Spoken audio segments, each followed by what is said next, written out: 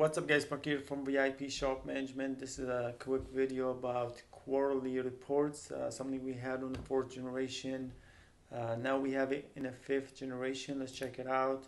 Go to your reports. And I did mention right here that you can, it's, this is, even though it says daily and weekly, it's more than that. It can switch to monthly and it can even show the whole year.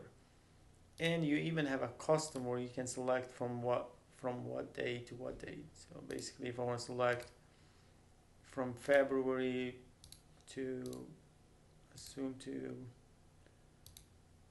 let's say end of April, I can see all of that. That's custom, and you can print custom. You can print uh, the whole year from here and print the summary.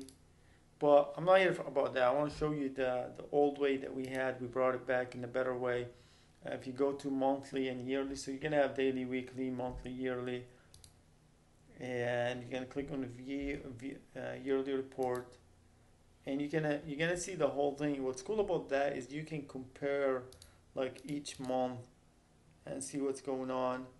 You can print it. Right, you're gonna have the grand total of each column, which is pretty cool.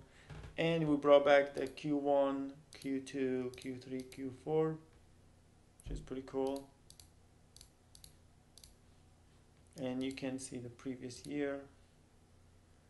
So I think that's pretty cool. Helps a lot of people. A lot of people wants the Q1, Q2, and the quarterly reports, and uh, they like to compare too. So which is pretty cool. Anyway, that's it for today. Thanks for watching.